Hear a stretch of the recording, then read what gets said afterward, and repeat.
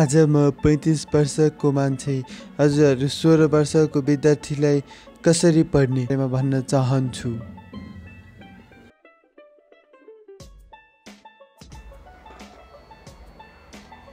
एकचोटि राम्ररी सोचौँ त। पैँतिस वर्षको एउटा बुढो अब सपोज टिचरै मानौँ एउटा बुढो टिचरले सोह्र वर्षको केटाकेटीको मेन्टालिटी बुझेर कसरी सजेसन दिन सक्छ? हामी सजेसन त दिन्छ पास्ट एक्सपिरियन्स हुन्छ आफू पनि त्यही फेजबाटै नै गएको तर एक हुन्छ नि त्यही मेन्टालिटी बुझ्ने एडभाइस अलि बढी इफेक्टिभ हुन्छ अलि बढी चाहिँ राम्रो तरिकामा जान्छ। र त्यही भएर चाहिँ यो भिडियोमा म चाहिँ सोह्र वर्षको यङ ह्यान्डसम होइन आज त भ्यालेन्टाइन डे पनि हो। इट सो आजको यो भिडियोमा चाहिँ हामीहरू चाहिँ अब यो चाहिँ टु थाउजन्ड सेभेन्टी फाइभ फागुनको भ्यालेन्टाइन्स डे हो र यसै आउन धेरै टाइम पनि छैन। सेन्टअप पनि लगभग भइसक्यो होला अलमोस्ट हुन्छ। यति बेलासम्म चाहिँ लगभग माघको चाहिँ मिड मन्थमा चाहिँ सेन्टअप पनि भइसक्छ र सेन्टअप पछि रिजल्ट आइसकेपछि कुनै विद्यार्थीहरू चाहिँ फुरुङ फुरुङ नेक्स्ट लेभलमा ट्याब गर्दै बस्छन्। अनि कुनै चाहिँ एकदम लो लेभलमा रुँदै चित्त दुखाउँदै बस्छन्। यो भिडियोमा चाहिँ बेसिकली के गर्छौँ भन्दाखेरि चाहिँ मैले चाहिँ क्वेसनको लिस्टहरू बनाएको छु जुन अहिलेको एससीको विद्यार्थीहरू र अफकोर्स फ्युचरका लागि यही क्वेसनहरू सोध्दैछन् किनभने दिल तो बच्चा है जी दिल बच्चा है जी। त्यही भएर चाहिँ बच्चाको मनमा एउटै एउटै एउटै क्वेसनहरू आउँछ। र फर्स्ट क्वेसन चाहिँ हाम्रो के छ भन्दाखेरि कसरी पढ्ने? अब कसरी पढ्ने? बुझेर पढ्ने कि घोकेर पढ्ने कि लेखेर पढ्ने कसरी पढ्ने? र यो कसरी पढ्ने भन्ने क्वेसन चाहिँ केमा डिपेन्ड गर्छ भन्दाखेरि सब्जेक्ट कुन हो? डिपेन्ड छ भने subject you're reading right now अब हजुरहरूले म्याथ पढ्नुभयो भने अभियसली प्र्याक्टिस गर्नुपर्छ। साइन्स पढ्नुभयो भने चाहिँ घोक्नु पनि पर्छ म्याक्सिमम् बुझ्नुपर्छ र न्युमेरिकलहरू हुन्छ र त्यो न्युमेरिकलहरूलाई चाहिँ न्युमेरिकल कन्सेप्ट क्लियर छ। फर्मुला हुन्छ भने न्युमेरिकलमा चाहिँ के ठुलो कुरो हुँदैन। न्युमेरिकलमा मार्क्स चाहिँ पक्का हुन्छ। त्यही भएर साइन्स सब्जेक्ट भनेको चाहिँ लाइक बुझेछ भने कन्सेप्चुअली आफू चाहिँ एक्नोलेज छ भने चाहिँ त्यस्तो गाह्रो हुँदैन। म्याथ भनेको पनि त्यही म्याथ भनेको चाहिँ जति प्र्याक्टिस गर्यो त्यस्तै हुन्छ। र कुरा भइरहेको चाहिँ यहाँ कम्पलसरी म्याथकै। मैले पपुलेसन नलिएको हुनाले अब पपुलेसनको बारेमा चाहिँ सरी मैले चाहिँ त्यसको बारेमा चाहिँ भन्न सक्दैन।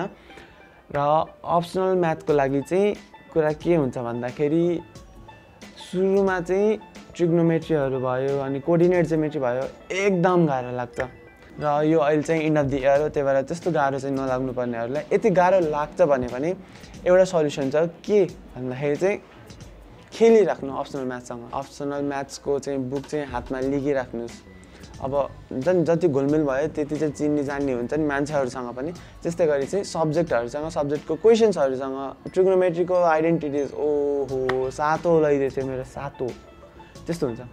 जति चाहिँ त्यो ट्रिग्नोमेट्रीको आइडेन्टिटिजहरू भयो कोर्डिनेटको चाहिँ अब डेरिभेसनहरू हुन्छ। डेरिभेसन नभए पनि अब चार मार्क्समा आउने क्वेसनहरू हुन्छ है तिनीहरू चाहिँ अब जति चाहिँ हेरिराख्नुहुन्छ जति चाहिँ बुझिराख्नुहुन्छ जति चाहिँ हुन्छ सिकिराख्नुहुन्छ त्यति नै सजिलो लाग्छ। अनि अर्को क्वेसन आउँछ है मेन कति टाइम पढ्ने? आई मिन ड्युरेसन कति राख्ने पढाइको?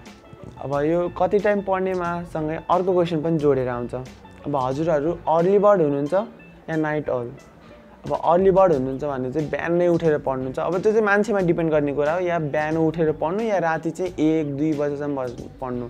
अब कुनै कुनै मान्छेहरू अब हुन्छ नि युजली टपर्सहरू चाहिँ युजली टपर्सहरू चाहिँ के गर्छन् भन्दाखेरि राति पनि बाह्र बजीसम्म पढ्ने बिहान पनि चार बजी उठ्ने। नाइट अल र अर्ली बर्डको मिक्सरहरू भने यिनीहरू चाहिँ।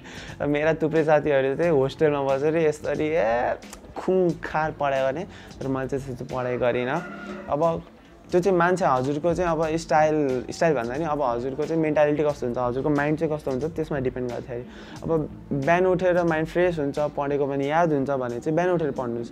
तर राति चाहिँ अब हुन्छ नि साथीलाई चाहिँ सोधेछ ओ तैँले यति रातिसम्म कसरी पढ पढ्न सक्छ यार भनेर सोधे चाहिँ के भन्छ भन्दा राति अँध्यारो हुन्छ कोही डिस्टर्ब गर्न आउन लाइक सेक्योर फिल हुन्छ इन्भाइरोमेन्ट पनि त्यस्तै हुन्छ। त्यही भएर चाहिँ राति पढ्न मन लाग्छ भनेर भन्थ्यो।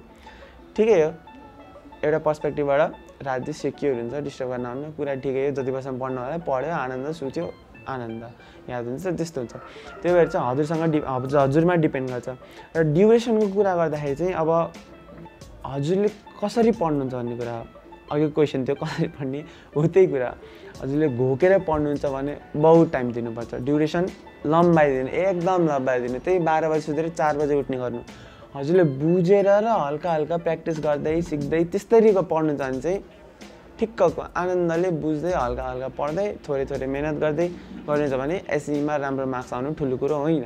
किनभने म पनि म भन्दाखेरि चाहिँ ए जो त्यो मुलाले भने जस्तो होला। तर म चाहिँ राति राति बस्ने भनेको चाहिँ म्याक्सिमम् भनेको साढे दस बजीसम्म। म्याक्सिमम् साढे दस बजीसम्म बस्थेँ। बिहान उठ्दाखेरि चाहिँ साढे चार चार बजीसम्म उठ्थेँ।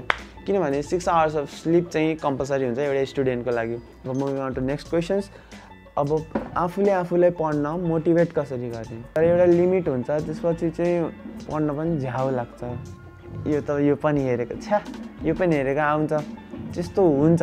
आफूलाई मोटिभेटेड कसरी गर्ने भन्दाखेरि चाहिँ मेन फर्मुला भनेको मोटिभेसनको लागि चाहिँ लाइक हुन्छ नि सानो सानोमा बच्चाहरूलाई होमवर्क गराउँदाखेरि बाबु होमवर्क गर होमवर्क गरेपछि बल्ल खेल्न जानु पाउँछौ ठ्याक्कै त्यही हो ठ्याक्कै ठ्याक्कै चाहिँ त्यही हो राम्रोसँग पढ पढेपछि तिन महिनाको छुट्टी छ त्यसपछिको रिजल्ट दामी आयो भने त झन् दामी छ त्यो हुन्छ सिचुएसन आफूले आफूले मोटिभेसन राख्ने मोटिभेटेड राख्ने भनेको तरिकै त्यही हो क्या अब त्यस्तरी भयो एउटा चाहिँ छुट्टीको लोभ देखाएर रिजल्टको लोभ देखाएर पढ्ने होइन?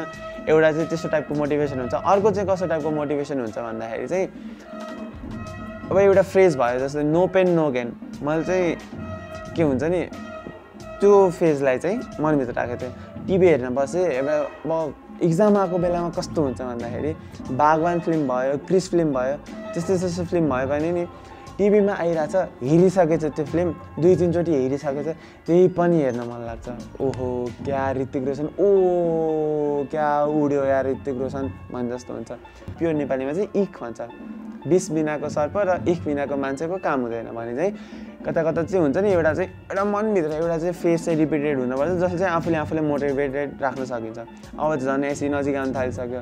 त्यही भएर चाहिँ अब चाहिँ पढ्ने काम मात्रै गरे हुन्छ क्या यो चाहिँ नर्सहरूको लागि है नर्स भनेको चाहिँ अब हुन्छ नि ज्ञानहरू तानिराख्नु खोज्ने के? चाहे बुकबाट होस् त्योबाट होस् पढिराख्न खोज्ने के सिकिराख्नु खोज्ने हो त्यस्तो टाइपको नर्सहरूको लागि। नर्सहरूको लागि चाहिँ के हुन्छ भन्दाखेरि अब त्यो सब्जेक्ट म्याटरभित्र के इन्ट्रेस्टिङ कुरा छ? हो त्यसलाई त्यसलाई बुझ्न खोज्ने कि अझै पढेर अझै बुझौँ भन्ने जस्तो। हो त्यस्तो। त्यसरी मोटिभेटेड राख्न सक्नुहुन्छ भने त बब्बाल हुन्छ। त्यसरी राख्न सक्नुहुन्न भने के गर्नुहोस् भन्दा त्यही लोभ देखाउनुहोस्। रिजल्टको लोभ होस् छुट्टीको लोभ होस् जेको लोभ भए पनि लोभ देखाउनुहोस्। लोभ देखाउनुहोस् त्यसपछि मोटिभेटेड भइन्छ। र एससी जस्तो बोर्ड इक्जाम्सहरू भए त्यसमा चाहिँ मेन कुरा भनेको टिचर्स लाइक चेकर्सहरूलाई चाहिँ इम्प्रेस कसरी गर्ने भन्ने कुरा हुन्छ। आफ्नो नलेज त ठाउँमा छँदैछ है। आफ्नो नलेज त ठाउँमा छँदैछ।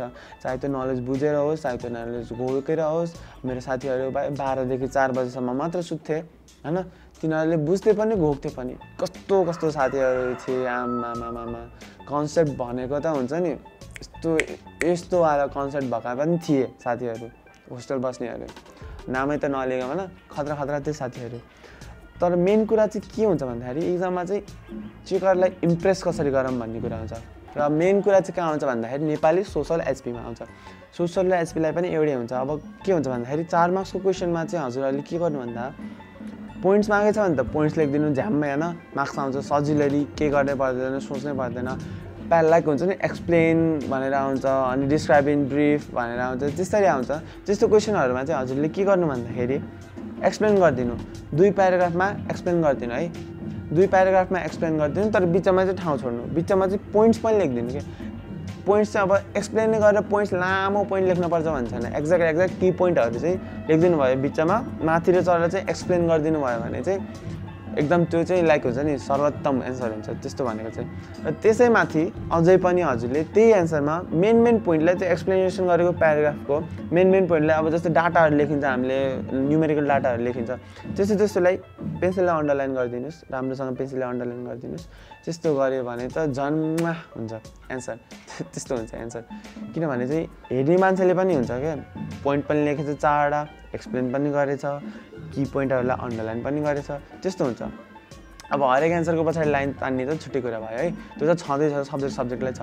र एचपी र सोसलमा चाहिँ हजुरले अझै एउटा चाहिँ के प्लस पोइन्ट चाहिँ के गराउनुहोस् भन्दाखेरि चाहिँ कुनै कुनै क्वेसन्सहरू हुन्छ नि। अब जस्तै सोधे रिलेसन बिट्विन हुन्छ। सोधे relation between this this this भने तिनवटा टर्म आयो भने एउटा ट्राङ्गुलर चाहिँ हुन्छ नि। ट्राङ्गुलर एउटा फिगर गराइदिनुहोस्। अब यहाँ चाहिँ के हुन्छ अरे सस्टेनेबल डेभलपमेन्टको छ नि इन्भाइरोमेन्टल भयो इकोनोमिक फ्याक्टर भयो हो त्यस्तो त्यस्तो फ्याक्टरहरूको चाहिँ एउटा चाहिँ डायग्राम गराइदिनुहोस्। एक मार्क्सको सर्ट क्वेसन्स हुन्छ। एक मार्क्सको सर्ट क्वेसन्स हजुरहरूले सोसलको भयो एचपीको भयो सबै राइट गर्नुहोस् सुई सुई सुई सुई सुई चार मार्क्सकोमा ड्याङ ड्याङ मार्क्स आउँछ। एउटा क्वेसन पनि रङ भयो भने हम्मे हम्मे हुन्छ हजुरहरूलाई। त्यही भएर चाहिँ सुरुमा ह्यान्ड राइटिङ मेन्टेन गर्नुहोस् नेपालीमा ह्यान्ड राइटिङ मेन्टेन गर्नुहोस् अनि चाहिँ व्याकरणहरू चाहिँ सबै राइट गर्नुभयो भने चाहिँ नेपालीमा पनि हुन्छ नि अलि चान्सेस हुन्छ।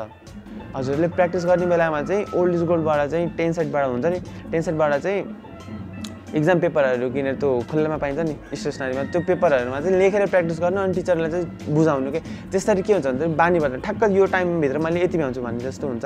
मैले चाहिँ यो सबै किन भनेको भन्दाखेरि चाहिँ टु थाउजन्ड सेभेन्टी फोरको एसीमा नेपालभरि चौबिसजना चौबिसजना स्टुडेन्ट्सहरूको चाहिँ जिपिए फोर आएको थियो र ती चौबिसमध्ये चारजना चाहिँ बुटोलको न्यु होराइजन स्कुलबाट थिए र ती चारजना मध्येको म पनि एउटा थिएँ।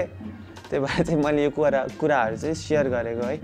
त्यही भएर अब यसलाई पोजिटिभली लिनुहुन्छ अब यसो ए मुलाले भनेको नि के हुन्छ? भनेर लिनुहुन्छ भने त्यो नै आफ्नो ठाउँमा छ किनभने मैले भनेको सबै कुरा मैले राइट हुँदैन। किनभने त्यो चाहिँ मेरो पर्सपेक्टिभको कुरा हो। मैले चाहिँ यसरी गरेको मैले चाहिँ जस्ट कुरा आफ्नो ओपिनियनहरू आफूले गरेको कुराहरू चाहिँ सेयर गरेको। त्यो पनि यस्तै यस्तै क्वेसन्स छ भने चाहिँ कमेन्ट गरिदिनु होला र तल रातो सब्सक्राइब बटन छ। त्यो चाहिँ टक्क लाएर दबाइदिनु होला। किनभने अब नेपालमा चाहिँ यस्तो हुन्छ नि नलेज सेयरिङको च्यानलहरू चाहिँ खासै छैन। पोडकास्टहरू भयो कमेन्ट च्यानलहरू भयो त्यस्तो त्यस्तो छ। नलेज सेयरिङ च्यानलहरू छैन र राम्रो रेस्पोन्स यो भिडियोबाट यति राम्रो रेस्पोन्स आयो भने चाहिँ मैले चाहिँ फ्युचरमा त्यस्तो त्यस्तो भिडियोहरू गर्न सोच्दैछु।